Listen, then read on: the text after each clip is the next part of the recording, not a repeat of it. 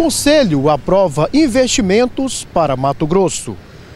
O Conselho de Desenvolvimento Empresarial SEDEM aprovou nesta semana cartas consultas para financiamentos de projetos junto ao Fundo Constitucional de Financiamentos do Centro-Oeste, FCO, empresarial via Banco do Brasil serão investidos cerca de 239,2 milhões de reais em empreendimentos, que devem gerar 733 empregos diretos e 1.238 indiretos. Os projetos aprovados são de pequenas, médias e grandes empresas, localizadas na capital e no interior do estado, nos municípios de Várzea Grande, Sapezal, Colniza, Lucas do Rio Verde, Primavera do Leste, Pontes e Lacerda, Jaciara, Alto Taquari, Rondonópolis e Querência. São segmentos de atuação variados, como transporte rodoviário, fabricação de rações,